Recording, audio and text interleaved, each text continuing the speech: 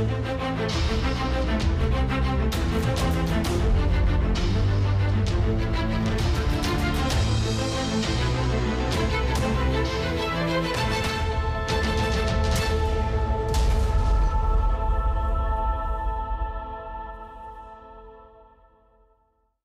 õhtust, head vaatajad, järjekordne Rahvaadvokaadi saade on algamas.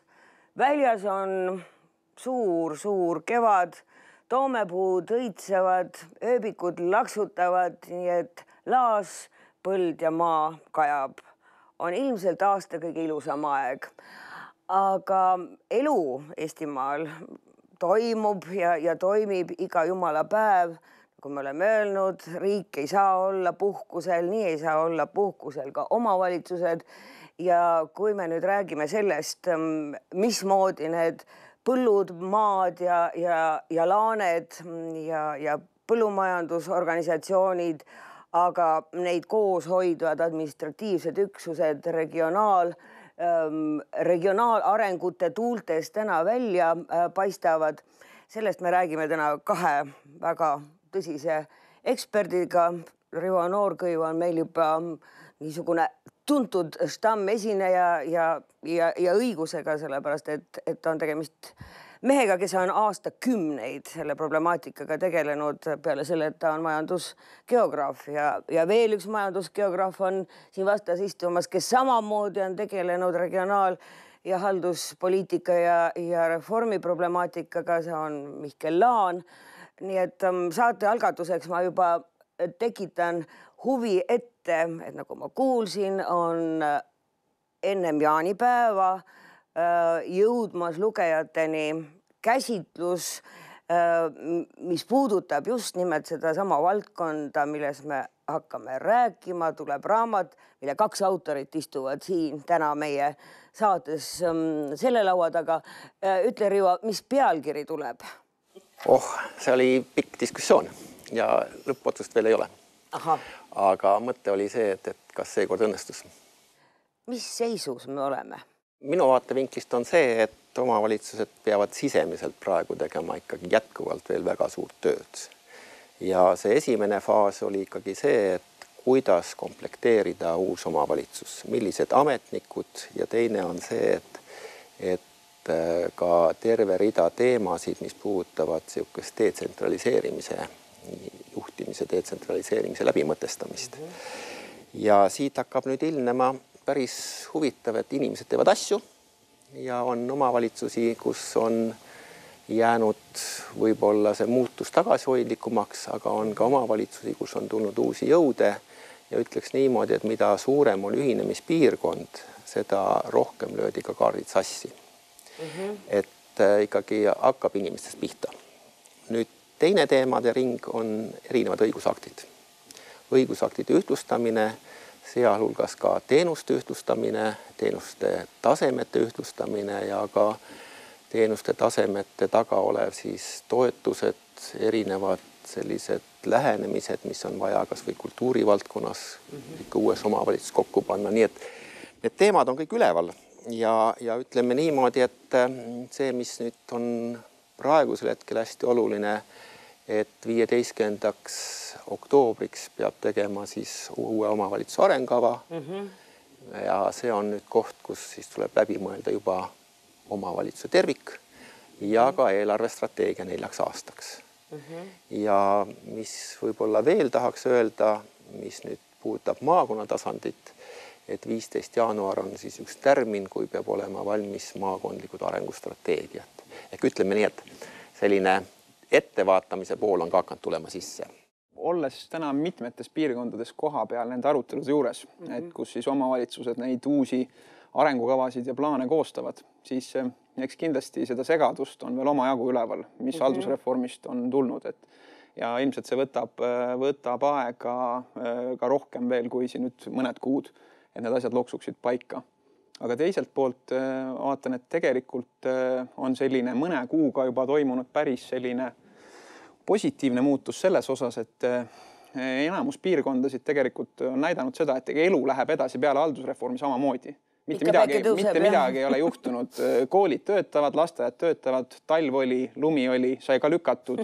tegelikult midagi halba ei ole muutunud, et ma usun, et juba selle mõne kuuga on ka sellised eh, nagu kriitilisemad no noodid, mis olid veel võib-olla pool aastat tagasi väga tugevad, maha rahunenud, et nähakse, et tegelikult elu läheb edasi.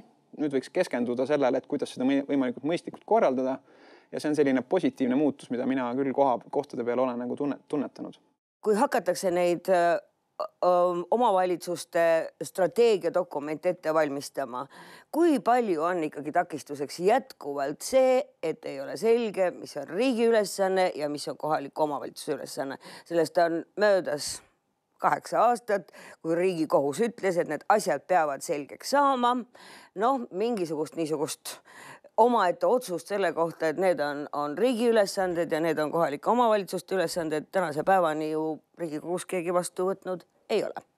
no ütleme niimoodi, et see otsus, kui teda lugeda, siis see otsus minu meelest ei ole ka võimalik täita. Ahhaa, et ta on niimoodi sõnastatud filosoofiliselt. Ja, ja filosoofia üle võib vaielda mm, -hmm. aga kui sa tahad sinna sisu sisse panna, siis see on ikka suhteliselt konkreetne asi, mis tuleb panna. Ja ütleme niimoodi, et haldusreformi käigus arutati ülesandeid. Ja endiselt on lahendamata, kas gümnaasiumiharidus on omavalitsuse teema See on väga kallis teenus, või see on jah. keskvalitsuse poolt korraldatav, eks ole, Mhm. et, et siin ei ole edasiminekut, et on poolt ja vastuargumente. ütleme, Taanis on öö, gümnaasiumiharidus riigi käes. noh, meil Mhm. on nüüd tekkinud selles mõttes kehva seis, et meil on munitsipaalgümnaasiumid ja riigigümnaasiumid ja Jah. minu meelest see ei ole hea. et siin tuleks see lahendus leida ja, ja võiks ka niimoodi arvata, et see on omavalitsuse teema. nüüd teine on tervisekeskused, esmatasandi tervisekeskused, teema üleval, jätkuvalt lahendust ei ole. ja kolmas teema oli see, mida küll välja käidi suhteliselt entusiastlikult, et omavalitsused hakkavad ettevõtetega, ettevõtetega tegelema ja ettevõtlusega tegelema rohkem. noh, praegu tal ei olegi seda kohustust, aga nad aitavad ikkagi on see, et, et sealt ei ole ka mingit liikumist olnud mm. -hmm. ehk siis me jõuame sellise huvitava teema juurde, et et kas nüüd see uus situatsioon paneb ka omavalitsusi mõtlema rohkem kulupõhiselt mõtlemiselt tulupõhisele mõtlemisele ja ütleme, need asjad, mis praegu on laua peal, hakkavad tegelikult ka jõudma sinna, et selle tulevase omavalitsuse läbimõtlemisel on vaja arutada selle üle, et kuskohast õnnestub, eks ole, raha kokku hoida mm. -hmm. Et siiani oli see suhteliselt ütleme niimoodi, et teisejärguline teema ja ühinemislepingud on pannud kõik need asjad lukku.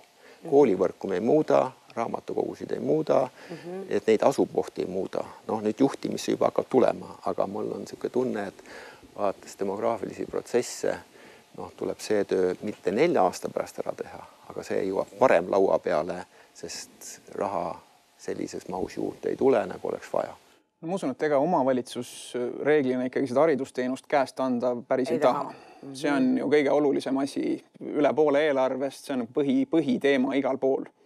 ja kui vaadata nüüd seda gümnaasiumiastmete lugu, siis on selge, et juhul, kui see nüüd läheks täie, täies mahus mm -hmm. riigi kätte, siis see tähendaks ridamisi maagümnaasiumite sulgemist. sest et äh, üle Eesti on äh, pikk nimekiri koole gümnaasiumiastmetes, kus on vähem kui viiskümmend õpilast juba sellised enam-vähem suurusega on viiskümmend kuni sada õpilast, aga kui nüüd vaadata riigi lähenemist, siis need numbrid ikkagi on kolmekohalised kindlasti, mis peaks nagu gümnaasiumiastmes olema. see tähendab seda, et, et omavalitsused oleksid valmis ütlema, et jah, meil siin, ma ei tea, Alutaguse vallas Ida-Virumaal mm -hmm. tegelikult gümnaasiumit ei ole, sest riigigümnaasium on Jõhvis.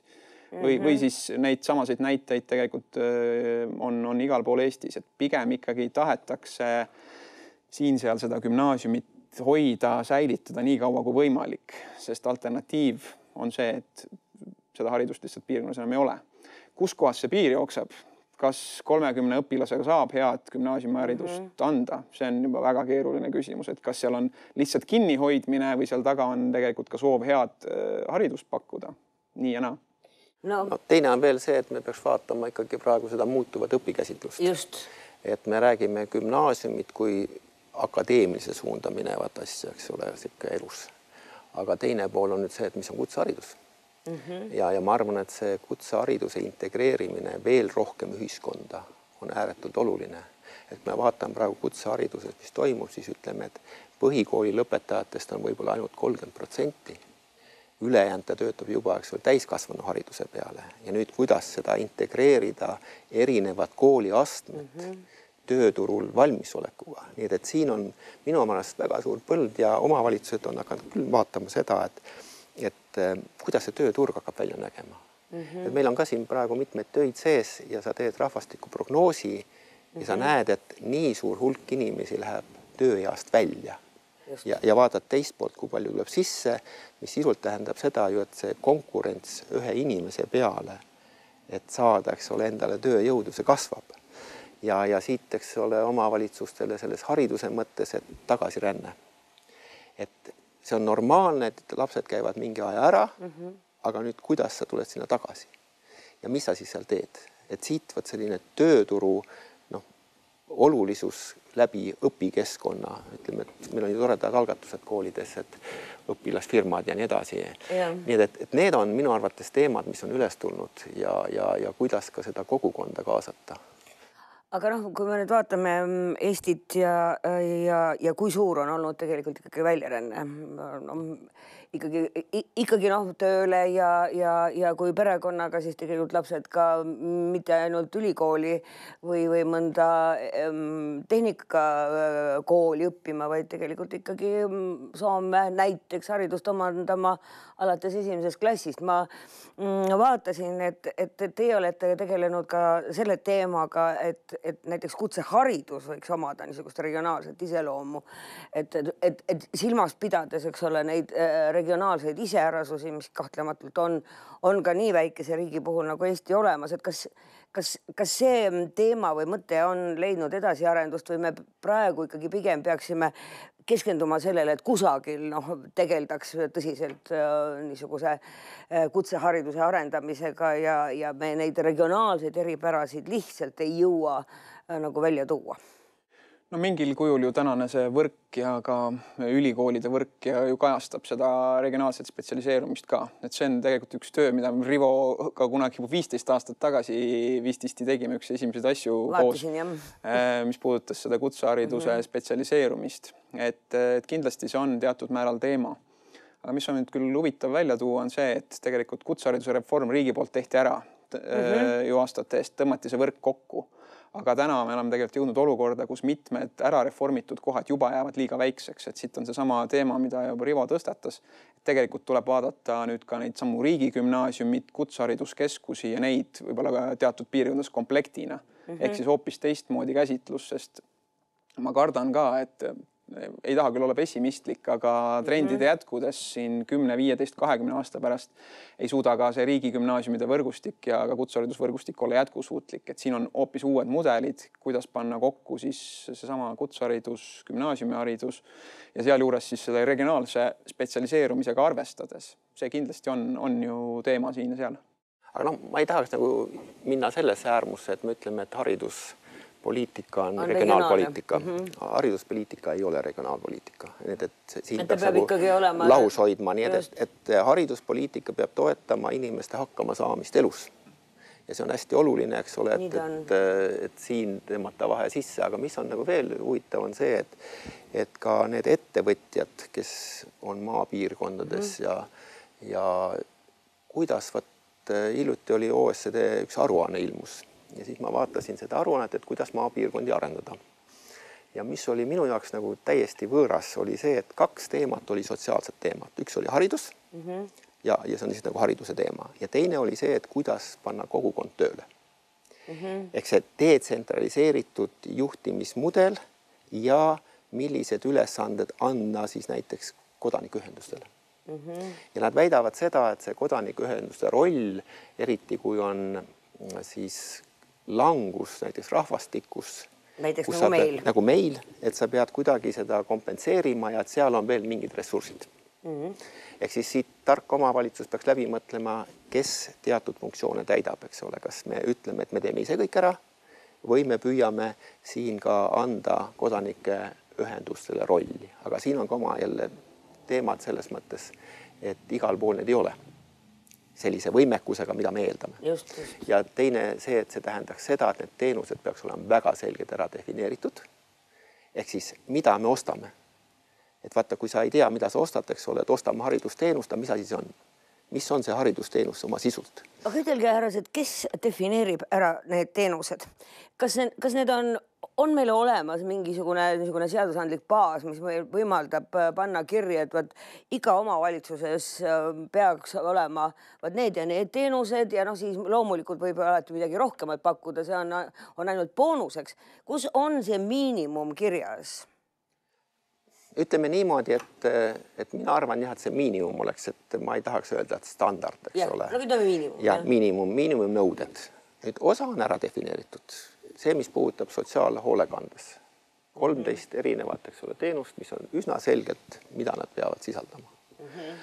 aga ütleme niimoodi, et, et paljuste teenuste puhul noh, on kohalik niisugune miinimum, eks ole, et alati võid teha paremini, aga, aga see esmatasandi niisugune miinimum peab sul käes olema.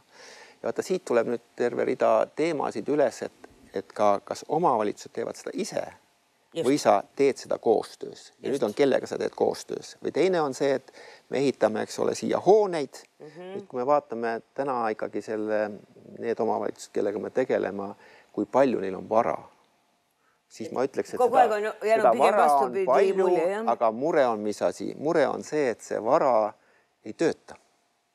ja, ja siit, eks ole, me hakkame nägema seda, kuidas kinnisvaraturg ei tööta.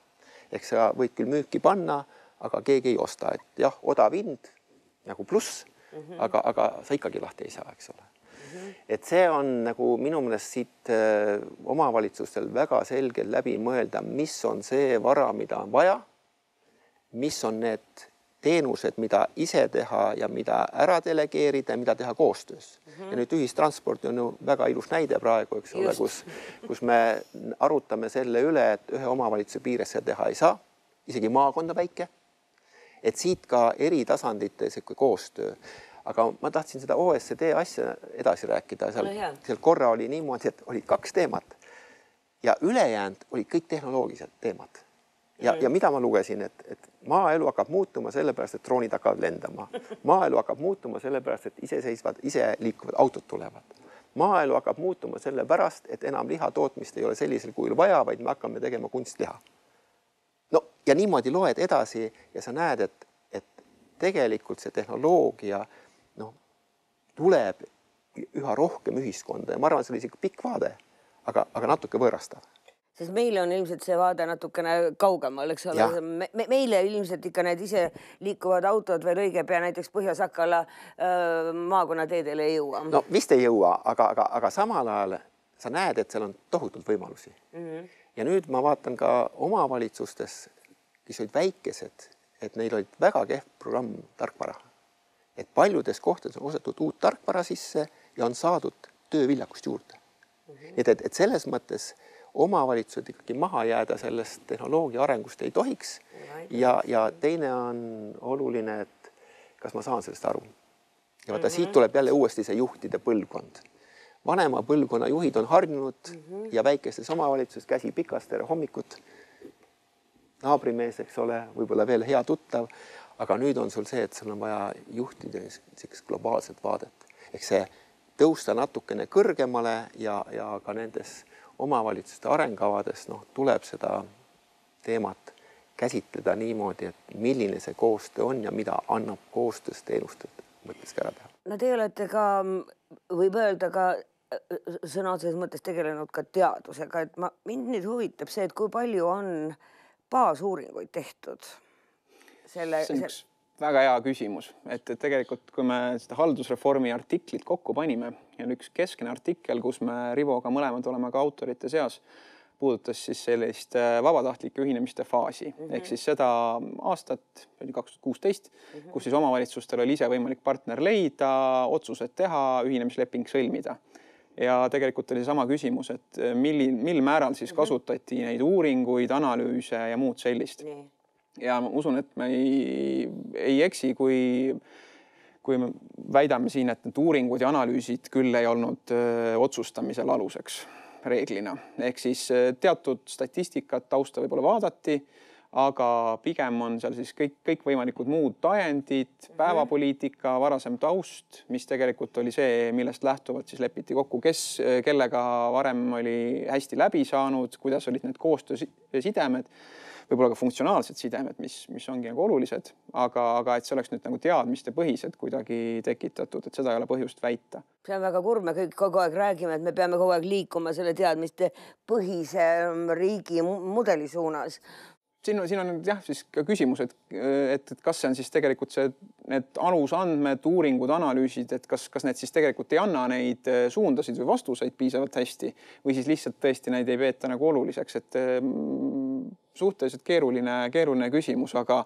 aga reaalsuses ma usun, uutes arengukavades, mis täna omavalitsused teevad, pigem see trend teatud mõttes jätkub, et tõstame, ärme analüüsime asju üle, katsume paika saada meie jaoks olulised teemad ja see iseenesest ei pruugi üldse olla vale, et, et pannes nagu rõhku analüüsile, jäävad sellised olulised fookused või kokkulepped sõlmimata, et lihtsalt analüüs ei aita nagu edasi, et küsimus on lihtsalt, kui hästi siis tunnetatakse seda olukorda, et ei tehta nagu valesid valikuid. Et aga selline kindlasti huvitav situatsioon. Jah, et ähm, nagu arvame, et see teadmistepõhine maailm on, eks ole, aga, aga, aga maailm muutub suhteliselt kiiresti. et mulle mm. tundub ka seda, et, et see infovood ja see kiirus äh, nendes muutustes on nii suured, et, et tagasivaade ei päästa, et, et, et pigem tuleb edasi vaadata ja nüüd, kui sellest mõttes vaatad, siis üks ju fundamentaalne on tegelikult äh, rahvastik no absoluutselt. no ja, ja see selles mõttes, et, et ka selles haldusreformis oli arutluse all, et kas me peaks tegema ka prognoosid pikema mm -hmm. perioodi peale. no iseenesest seda aktsepteeriti mm. -hmm. aga, aga nüüd on see koht, kui peaks selle väga tõsiselt läbi mõtestama. Selle uue kavandamise juures, et kes need meile on, inimesed, vaatame kasvõi vanusrühmade lõikes. no vananev ja, ja niisugune vähenev rahvastik. Ja, ja nüüd on küsimus, et vot milliseid malle sa siin, eks ole, juhtimises kasutad. ja, ja teine on nagu see, et, et kas siit õnnestub veel mingit ressurssi välja võtta, ehk siis seesama eluea pikenemine, aga, aga pikeneb küll ja võib-olla on isegi kvaliteetaastad, aga on mul midagi seal maal teha noh, et, et see linnadesse koondumine noh, jätkub, kui sa ei suuda alternatiivi pakkuda. ja see on nagu minu arvates veel sellises mõttes oluline, et inimeste peades on hakanud üha rohkem ma tahan teha otsuseid mm -hmm. ja kohe. Lähete mööda Pärnu maanteed, tahaks minna teatrisse, vau. teater kohe kõrval, aga ma ei lähe, aga, aga mul on see võimalus mm. -hmm. et see võimaluste sihuke tunnetamine ja, ja, ja nüüd küsimus, et vot ma oleks nagu ahistatud teatud kohtades, kus mm -hmm. neid võimalusi ei ole. ja see hakkab nagu mängima sellises psühholoogilises vaatevinklis, noh, kasvõi ütleme nii, et kui sa vaatad ka terve rida väikelinnu Eestis teenuste mõttes on enam-vähem kõik okei okay., aga ma ei ela teenuste pärast, sest ma tahaksin hoopis veel mingeid võimalusi. Paides on nüüd tulemas teater. jah yeah. mm. -hmm, ja väga hea. igas omavalitsuses on täna muuseum muuseas palun väga, see on väga positiivne. aga nüüd ma tahaksin ikkagi küsida veel selle, selle nende tervisekeskuste kohta me, me võime rääkida, et, et on kohti, kus ilmselt ei, ei ole vaja täiendavalt avada lasteaedu või, või noh, võib-olla, et, et tuleb mitme, mitme piirkonna või küla peale need, need laste, lapsed koondada ja, ja teha natuke suurem lasteaed. nüüd tervisekeskuste järele vajadus noh, ei, ei kao mitte kusagil, vaid see pidev, pigem kogu aeg suureneb tänu sellele et, et elanikkond vananeb ja, ja nüüd see küsimus, et, et, et nende tervisekeskuste ülalpidamine ja, ja kogu see arstiabi korraldus, et, et kas see peaks nüüd tegelikult siis minema nagu riigi kätte või ütleme siis Haigekassa kätte või on siin ka ikkagi olemas paremaid alternatiivseid võimalusi, ma tean, et Soomes ka ju selle üle praegu väga-väga-väga vaieldakse. Ja nemad muidugi räägivad sellest maakondlikust tasandist, eks ole ju. Esmatasandi tervishoid on riigi ülesanne täna ja tegelikult see küll haldusreformi käigus tõstatati, et kas siin võiks olla siis ja. teatud suurem roll omavalitsustel. tegelikkus on see, et see on ikkagi riigi teema ja ma ei usu küll, et siin nüüd selles osas tegelikult mingisuguseid muudatusi, muudatusi peaks nagu lähiajal tulema ka.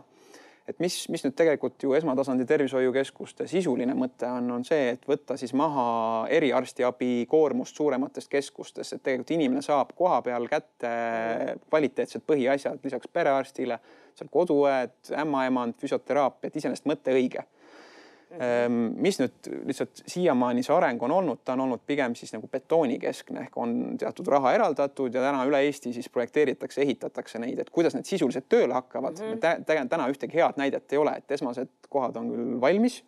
Tallinnas on näiteks uus esmatasandi tervisekeskus Mustamäel vist oli kõige esimene, mis äh, sai valmis mõne kuu eest et aga need teised on kõik pooleliolevad projektid et kas see nüüd tegelikult tekib see sisuline sünergia ka, et äh, kohapealne omavalitsus, tema sotsiaaltöö, siis see tervishoid ja kas need asjad hakkavad tervikuna tööle või on ta nagu rohkem kinnisvaraprojekt, et see on tegelikult täna, mis on nagu äh, lahendamata, et täna, täna ei ole seda arusaamas selle sisu osas väga-väga head mõte, iseenesest õige, aga, aga kuidas see sisu tuleb järgi, on küsimus no,. ja teine on see, mis ikkagi on üsna selgelt näha, et ei jätku maale perearste jah, nimistud on, kui nimistu on, on väga pikad. jah, ja, ja, ja ütleme nii, et see põlvkond, kes on olnud seal, on täna juba pensioniealiselt varsti.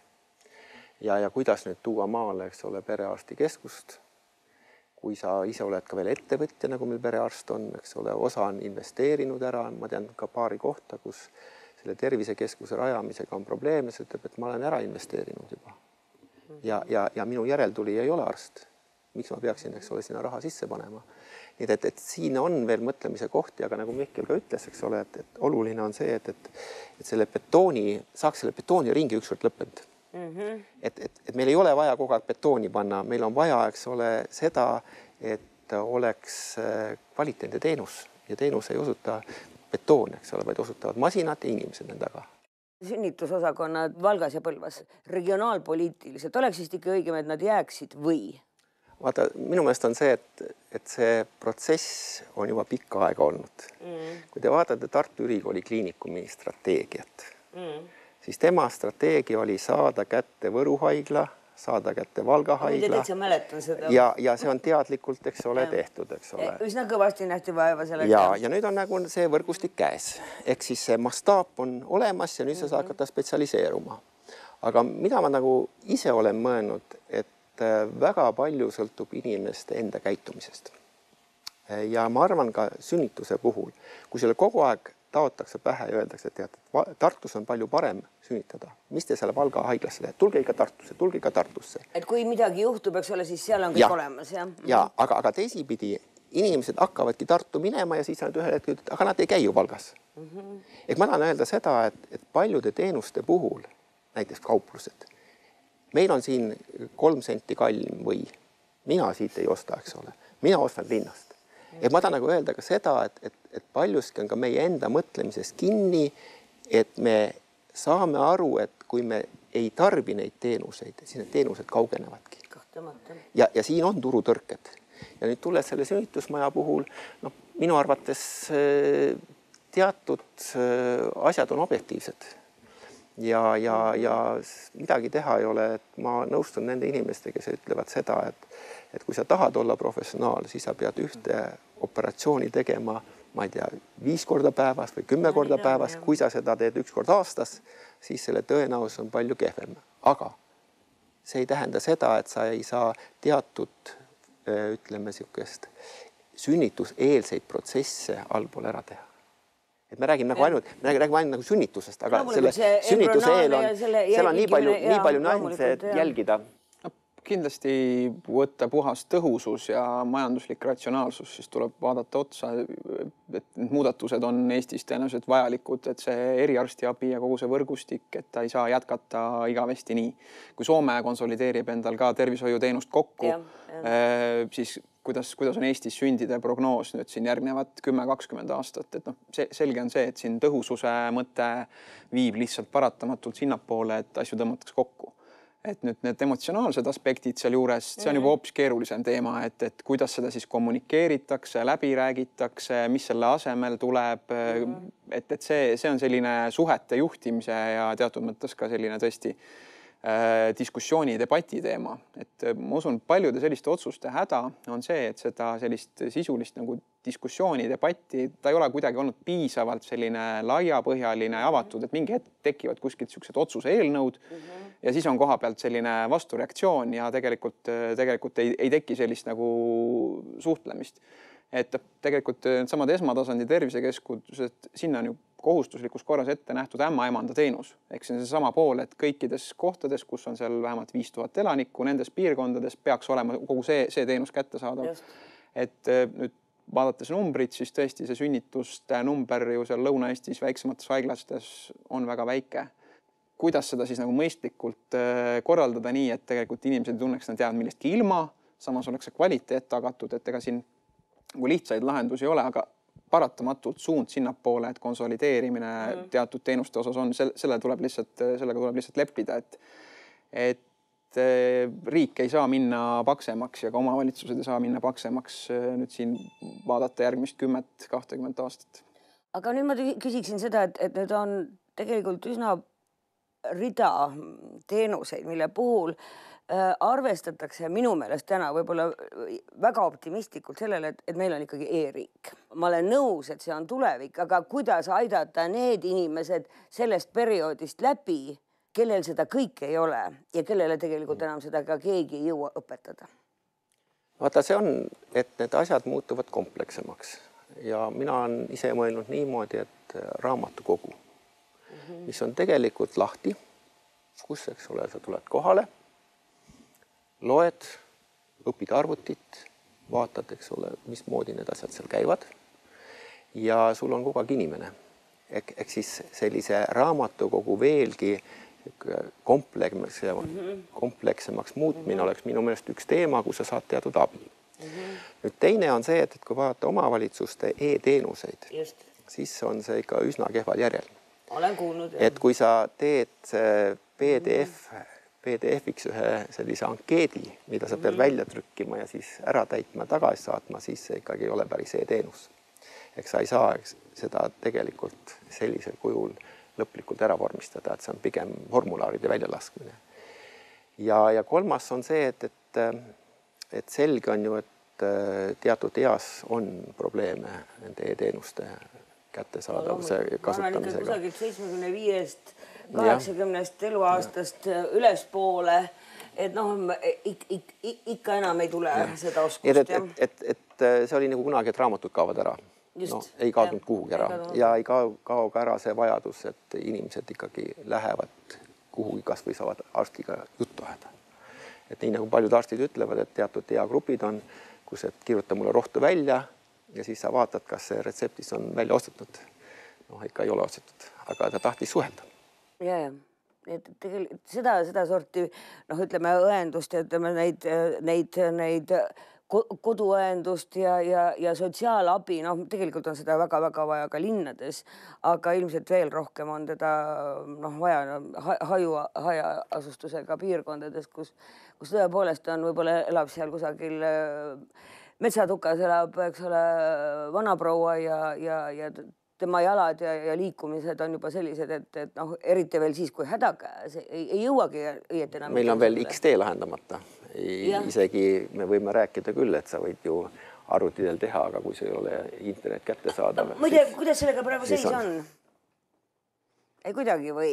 kui korra veel tagasi hüpata ja. selle küsimuse juurde, et nüüd see e-teenus ja kohalik omavalitsus, et kas seal on selline nagu auk, et inimesed jäävad asjadest ilma siis ma tegelikult seda väga ei karda mm. -hmm. et äh, nii palju, kui mina olen kokku puutunud omavalitsustega, siis ka haldusreformi eelselt ja järgselt räägitakse sellest, et sotsiaaltöötaja on tegelikult üks väga oluline isik Äh, omavalitsuse üksuses, ehk siis tema on tegelikult see, kes käib äh, piirkondades, jälgib seda, et keegi ei jääks ilma siis tegelikult eluks vajalikeks asjadest.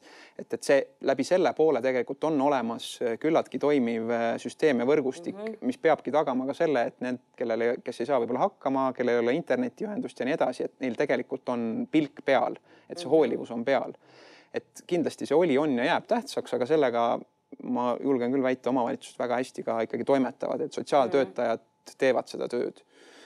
kui vaadata seda kommunikatsiooni poolt, siis tegelikult kõik omavalitsused annavad oma uue, uue valla või linna ajalehti välja endiselt ju paberkujul, et tegelikult need asjad, need on, need on olemas, et ei ole ju see, et meil on nüüd ainult kõik e-keskkonnas.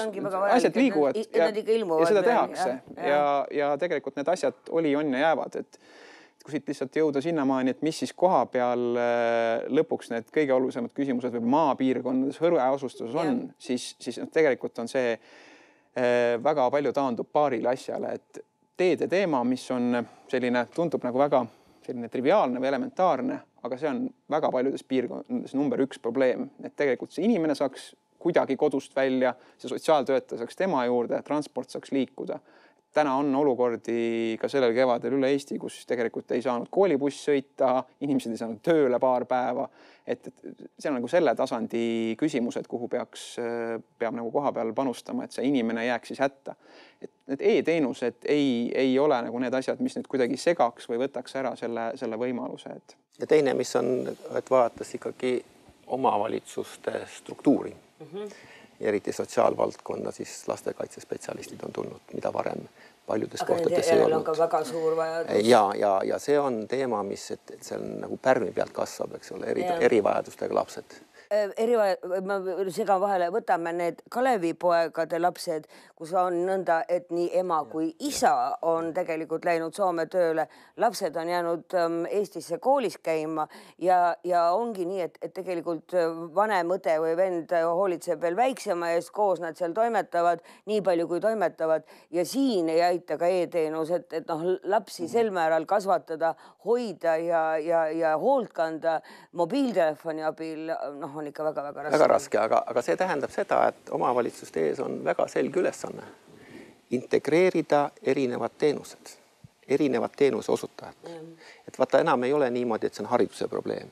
see on sotsiaalprobleem, hariduse probleem ja see on ka ühistranspordi probleem ja vot nüüd on vaja need asjad kokku viia ja, ja vot siin on see koht, kus, siin on see koht, kuidas haldussuutlikkust mm -hmm. tõsta, et see võrgustik töötaks et keegi sellest võrgustikust väljas ei ole ja ma ütlen samamoodi nagu Mihkel, eks, et ei ole meil põhjust arvata, et need tavapärased teenused ära kaovad. sest neid on vaja ja niikaua kui neid on vaja, niikaua tuleb neid teha. aga just, kus saada selliseid spetsialiste mm, -hmm. sest äh, see on tekkinud teemaks. nii et äh, ma arvan, et siin on positiivseid edasiminekuid küll. aga teine on see, et, äh, et kui kaugele seda suudetakse omavalitsustes ajada ja siin tuleb rahapiirangud ette. et me just siin tegime ühe töö mm, -hmm. kus on, ütleme, tubli kool ja ühe lapse kohta oli üheksakümmend kaks koma kolm ruutmeetrit pinda ja ühe lapse, ühe õpetaja kohta on kaks koma kolm last. ehk siis sisuliselt kuvernöör neljatoalises korteris. Ja nüüd ma mhm. küsin, et kas see kuvernöör saab siis korralikku palka vastus on ei, sellepärast et see raha köetakse ära nende ruumide hoiuks. ja vaata siit jälle see kokkutõmbamise, infrastruktuuri kokkutõmbamise tarkus. kus kohas sa saad seda kahida ja mis maani. aga see teema on veel endiselt nüüd üleval, et me peame seda suurt betooni maaniat ikkagi veel maandama te olete tegelikult teinud seda nõustamise tööd ähm, ja kaasamõtlemise tööd ja, ja ajurünnaku tööd läbi aastate. kas sellised meeskonnad, noh, veel siia juurde kedagi lisada, kas see aitaks selle esimese etapi nii-öelda üle elada, et, et ennem kui, kui need noh, nii-öelda targad pead tekivad äh, omavalitsustesse või kas nad üldse tekivad, et ongi nii, et ähm, helistatakse, öeldakse, et halloo, härrased, me, meil on see probleem, kas te olete nõus, me võtame veel siin need vallainimesed ka ja tuleme kokku, et aitate asja lahendada? Või see tegelikult juba kõik toimib? et on sissehelistamiskeskus.